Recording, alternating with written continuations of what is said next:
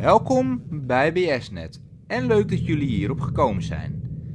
Wij willen meer creepypastas op YouTube hebben, zodat je genoeg enge en spannende verhalen kan beluisteren. Hier is weinig van te vinden, daarom zeg ik alvast like en abonneer op ons kanaal voor nog meer Nederlandse creepypasta's op YouTube. Dit motiveert niet alleen ons, maar ook andere YouTubers. Zoals jullie weten is Raar maar Waar de grootste en bekendste Nederlandse YouTuber met de meeste en beste, spannendste, oftewel engste creepypasta's die je hier zult vinden. Raar maar Waar heeft mij geïnspireerd om YouTube uit te breiden met Nederlandse creepypasta's.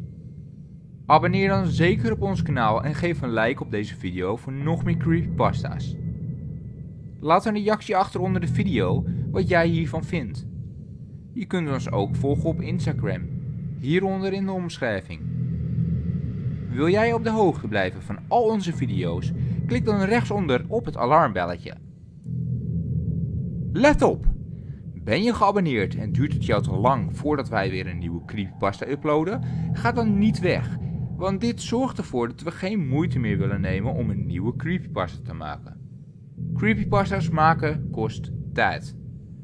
Like en abonneer en geniet van het verhaal. Je luistert nu naar de creepypasta. De kat die aan mijn deur krabt.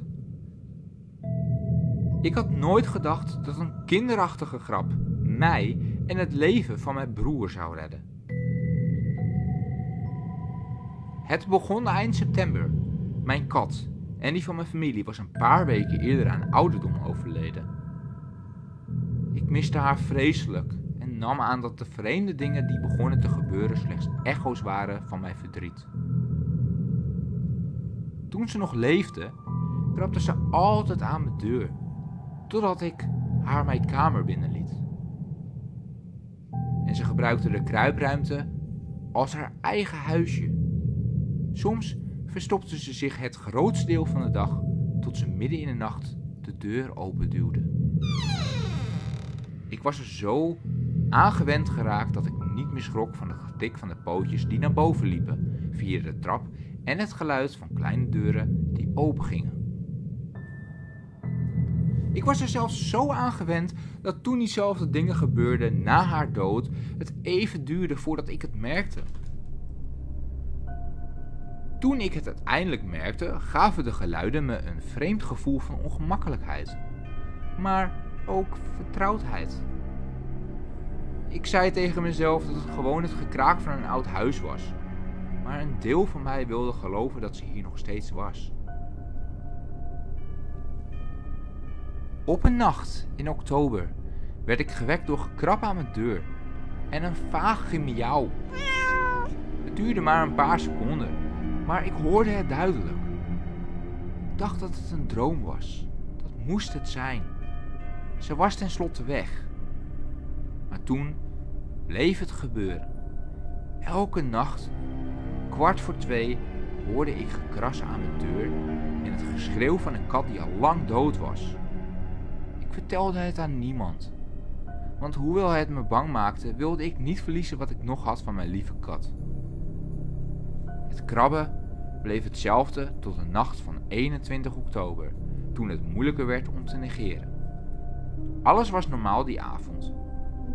Mijn ouders waren een nachtje weg en mijn broer lag beneden te slapen. Ik keek YouTube tot ik in slaap viel met de gloed van mijn laptop nog op mijn gezicht. Toen ik het gekras hoorde, was ik niet eens bang. Het voelde als elke andere nacht. Tot het niet stopte. Het krabben werd alleen maar hectischer en het huilen groeide in volume met elke beweging van een klauw. Ik had mijn kat nog nooit zo horen doen, zelfs niet toen ze nog leefde. Ik ging snel recht overeind op mijn bed zitten en keek hoe laat het was. Kwart voor twee, zoals altijd. Het krabben werd nog erger. Het klonk alsof ze elk moment door de deur kon scheuren. Ik stond op uit mijn bed en opende langzaam de krakende deur. Mijn hart bonste. Ik had geen idee wat ik achter die deur zou zien, maar ik moest hem openen. Ik doe de deur op een kier open. En plotseling werd de deur verder opengeduwd. Er was echter niets achter de deur.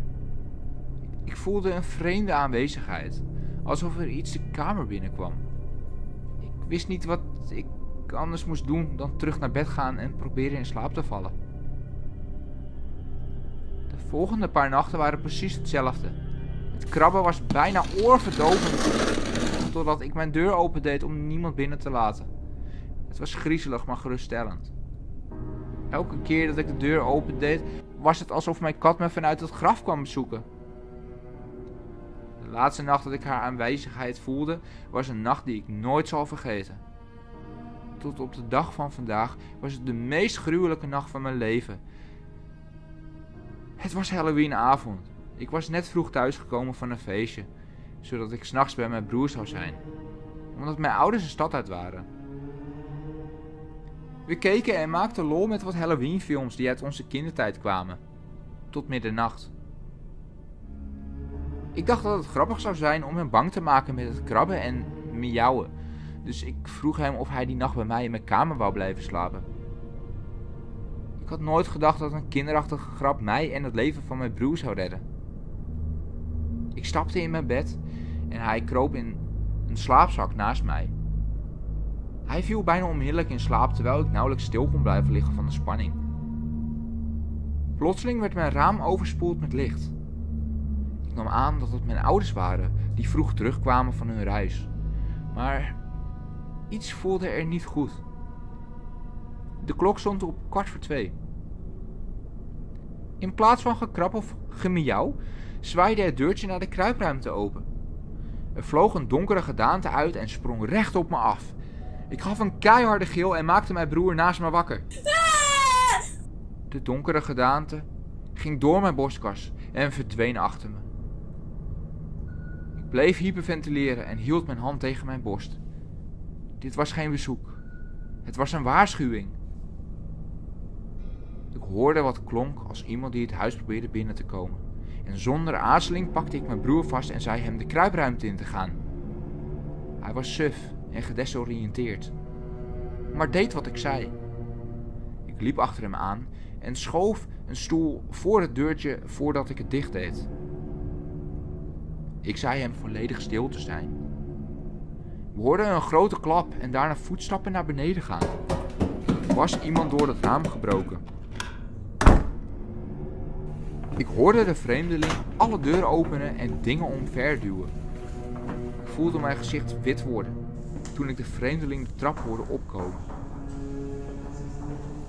Ik hield mijn hand voor de mond van mijn broer en begon in mijn hoofd te bidden. De vreemdeling stond voor mijn slaapkamerdeur. Mijn hart bonste. Hij gooide de deur open en ging de kamer binnen. Ik hoorde hem mijn bed omkieperen en mijn nachtkastje omgooien. Ik dacht dat we zouden sterven. Mijn broer was stilletjes de politie aan het bellen terwijl ik alleen maar naar de deur kon staren, wetende dat die elk moment open zou gaan. De vreemdeling schoof de stoel voor de kruipruimte om. Het enige wat er nog tussen mij en de indringer was, was een kleine deur. Mijn broer en ik pakten het handvat vast en hielden het dicht. Toen hoorde ik het gesis en gegrom van een kat. Het voelde alsof het vlak achter ons was. Uiteindelijk probeerde de indringer de deur te openen. We hielden het zo lang mogelijk dicht totdat de vreemdeling het met een grote ruk opengooide. Voordat ik hem zelfs maar goed kon zien, sprong de donkere gedaante achter ons vandaan en stortte zich op zijn gezicht. Het gebeurde allemaal zo snel, je kon alleen maar de flitsen van bloed zien rondvliegen. Hij viel huilend op de grond en hield zijn nu verminkte gezicht vast. De donkere gedaante rende de schaduw in en mijn broer en ik renden de deur uit en de trap af. We schreeuwden om hulp in de kou totdat de buren naar buiten kwamen om te zien wat er aan de hand was. Korte tijd later arriveerde de politie. Het blijkt dat de vreemdeling een drugsverslaafde ex-gedetineerde was die inbrak in de huizen van mensen in de omgeving op zoek naar geld. Ze vonden hem schreeuwend van de pijn terwijl hij zijn uitgeholde ogen bedekte. De politie vond naast hem ook een mes dat hij uit onze keuken had meegenomen. Mijn broer en ik stonden in de kou toen ik de vage groene gloed van de ogen van mijn kat in mijn slaapkamerraam zag. Dat was de laatste keer dat ik onze kat ooit zag.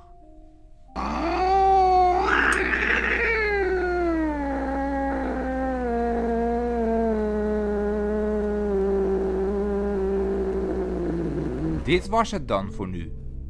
Willen jullie meer creepypasta's? Abonneer dan op ons kanaal en geef deze video zeker een like. Je kunt ons ook volgen op Instagram, hieronder in de omschrijving. Klik op het alarmbelletje rechtsonder in de video om op de hoogte te blijven van al onze video's. Laat een reactie achter onder de video en krijg bij de volgende video een shout-out. Tot de volgende creepypasta.